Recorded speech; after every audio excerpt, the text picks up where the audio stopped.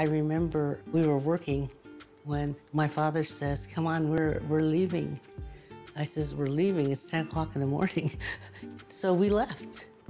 To go on strike, uh, you suffer a lot of hardship.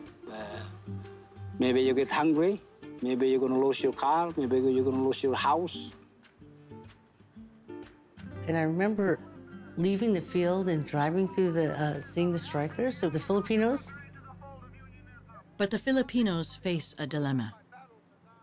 As they strike for a union, the farmers bring in Mexican workers to replace them.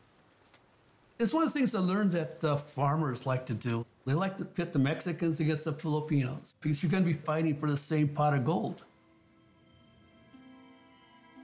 Many Mexican laborers have already joined the National Farm Workers Association, led by the charismatic Cesar Chavez. Remember meeting at the Filipino Community Hall in Delano. All the labor contractors were there, and a lot of the farm workers were there, and they're trying to decide, are we going to end the strike? Or are we going to negotiate with the Mexicans to join us?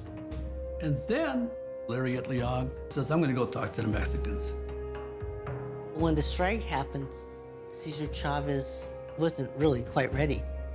But Cesar also knew that if they didn't join Filipinos then, then it would never happen.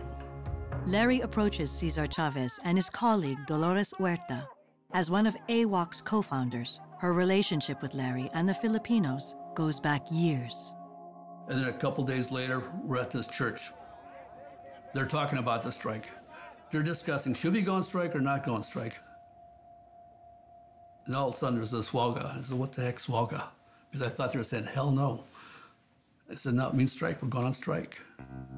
And so the Mexicans joined us.